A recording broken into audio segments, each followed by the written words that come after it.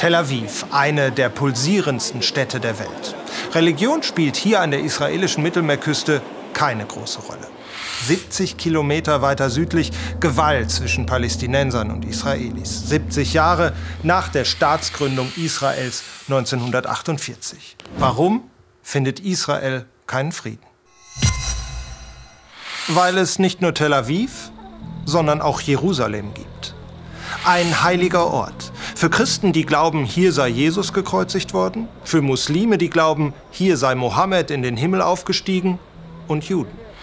Die Klagemauer am Tempelberg in Jerusalem, glauben Juden seit mehr als 2000 Jahren, ist der Ort, an dem sie mit Gott in Kontakt treten können. Um die Konflikte in Israel verstehen zu können, muss man also in die Vergangenheit reisen. Bereits vor Christi Geburt hatten Juden rund um Jerusalem ein Königreich, Israel. Vertrieben wurden sie von den Römern. Immer wieder wurden Juden seitdem verfolgt. Als Verräter Christi etwa im Mittelalter oder später um 1900. Bereits vor Hitlers Machtergreifung macht sich Judenhass in Europa breit. Vielerorts gibt es Hetze, Plünderungen, Vergewaltigungen, Morde. Immer mehr Juden wünschen sich einen eigenen Staat als Zufluchtsort. Jerusalem ist zu diesem Zeitpunkt noch Teil des großen Osmanischen Reichs. Dieses Reich gehört neben Deutschland zu den Verlierern des Ersten Weltkriegs. Großbritannien als Besatzungsmacht verspricht Juden, sie beim Aufbau eines eigenen Staates zu unterstützen, macht aber auch Arabern Hoffnung, die Region könne Teil eines großarabischen Reiches werden. Nach dem Zweiten Weltkrieg beschließen die Vereinten Nationen eine Teilung des umstrittenen Landes. Palästinenser wie Juden im blauen Gebiet sollen hier eine Heimat finden.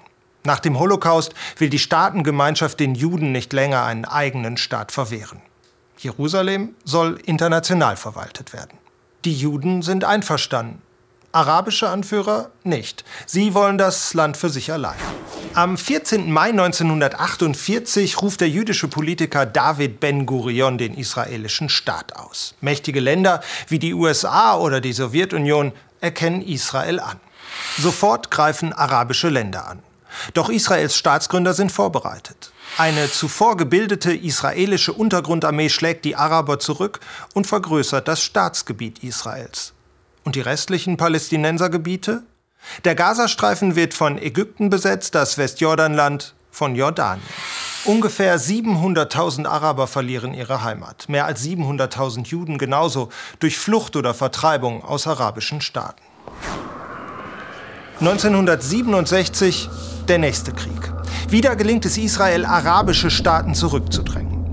Israel besetzt das Westjordanland, die Golanhöhen, den Gazastreifen und den arabischen Osten Jerusalems. 1967 ein entscheidendes Jahr, warum Israel keinen Frieden findet.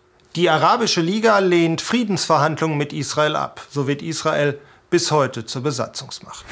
In den folgenden Jahrzehnten gibt es viele Konflikte. Palästinenseraufstände etwa, wie die erste Intifada Ende der 80er Jahre. Aber es gab auch Friedensverhandlungen und ein bisschen Frieden. Friedensverträge mit den Nachbarstaaten Ägypten und Jordanien. Dann das Jahr 2005. Israel räumt den eroberten Gazastreifen. Jüdische Siedlungen dort werden von der israelischen Armee abgerissen. Doch das bringt keinen Frieden. Seit 2007 wird Israel immer wieder aus dem Gazastreifen mit Raketen beschossen. Terroristen versuchen, durch Tunnel ins Land einzudringen. Für viele Israelis der Beweis, dass ein Frieden mit Palästinensern nicht möglich ist. Viele andere jüdische Siedlungen im besetzten Westjordanland hat Israel dagegen nicht geräumt. Nach internationalem Recht sind sie illegal. Für Palästinenser der Beweis, dass Israel ihnen keinen eigenen Staat zugestehen will. Und dann ist da ja auch noch Jerusalem, die Stadt, die beiden heilig ist, die Stadt, die Palästinenser wie Israelis als Hauptstadt wollen. In Tel Aviv finden viele Menschen diese Diskussion befremdlich. Sie sagen, in Jerusalem wird gebetet, in Tel Aviv gefeiert und gelebt. Bloß diese Entspannung ist in der Konfliktregion nicht mehrheitsfähig. Israelis und Palästinenser, sie finden keinen Frieden.